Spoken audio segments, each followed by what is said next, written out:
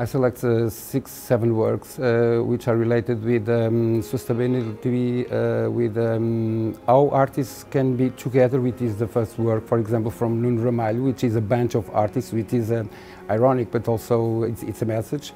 Uh, or Catarina Leitão, which is a, a, family of fighters for green, uh, which is very important. Or the Mirror Suitcase by Rui Calçada Bastos, which is a, a case which in, in made by Mirror, which reflects the city.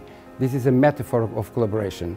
And um, we have also two specific works, one in the city, which is uh, from uh, Rui uh, which is a sculpture that um, the foundation and PLMJ uh, uh, lawyers um, give to the city, which is uh, something to collaborate with the environment and the context of the city.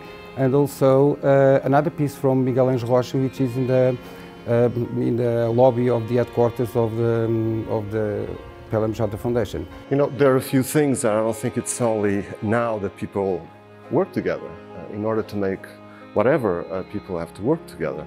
So uh, this piece, actually, I made it on my own, alone, because it has to be that way. Not, it's not exactly my choice, but it's the nature of the work. So I did it alone, everything on the work. But in order the works to be here, there were few people involved that allowed, that make it possible, the curator, João Silvério, the institution, PLMJ, and so forth. So there's a lot of people involved and there's always the need to work together, otherwise uh, it doesn't even make sense. So it's a sculpture, it's open, it's for everybody, it's for anyone. Um, I don't want to prescribe uh, uh, uh a meaning to it. I want meaning which is whole. So it's, uh, um, it's, uh, it's very open, I hope.